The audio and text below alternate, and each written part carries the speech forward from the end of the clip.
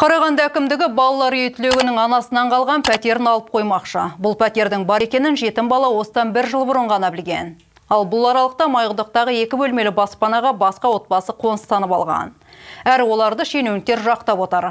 Мәселенің мән-жайын білуге тырысқан тілші әңгімесінде. Ксения Горшкова 13 жаста өзінің жағын жуықтарының барлығы көз жұмғанда жетім қалған. Қазір ол жермекіде. Ол 2 жастағы баласы бар. Отбасымен 4 жыл бойы әрбір жерді паналап келеді. Қазір пәтер барлығымызға қажет қой. Баспана табу, оған төлеу қалтамызды қағып тұр. Біз үй жалдадық, сосын бөлме жалдадық. Бармаған жеріміз жоқ. Қазір енемнің қолында тұрып жатырмыз. Кез келген уақытта бізді шығарып жіберуде мүмкін.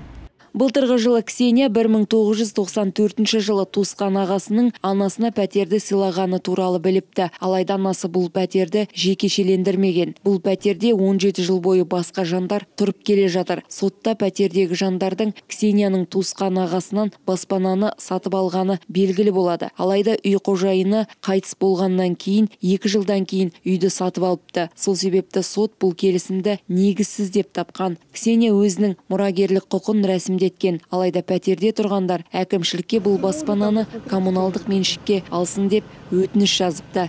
Әкімшілік ксенияның пәтер кезегінде тұрған жетім екеніне қарамастан сотқа оның мұрагерлігін алып тастасын деп арызданыпты. Гражданка Горшкова Гаршкова мұрагерлікті алған жоқ. Ол анасының өлімінен кейін бұл пәтерде тұрмаған. Сол себепті біздің бұл талап арызды беруімізге негіз болды деп есептейміз. Жергілікті атқарушы билік қазірдің өзінде бұл пәтерді иеленіп оны қамқорлыққа алуға ким деген азаматқа беріп отыр.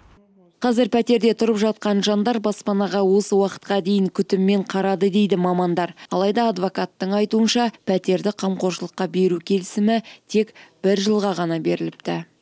Вообще, конечно, это нонсенс. Әрине бұл дұрыс жағдай емес. Жетім балаға пәтер бергеннің орнына әкімшілік оның баспанасын тартып алып отыр. Бұл пәтер оған заң бойынша анасының өлімінен кейін тиесілі болып тұр ғой. Әзірге даулы пәтерге қатысты сот шешімдері күшіне енген жоқ.